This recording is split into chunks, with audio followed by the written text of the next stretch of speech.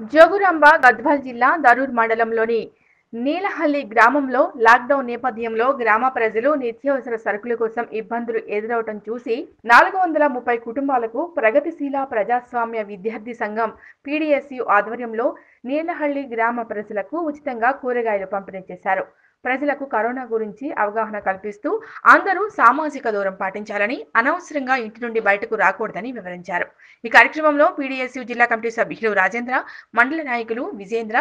యాసిన్ వీరేష్ పరుష పవన్ శ్రీను తదితరులు పాల్గొన్నారు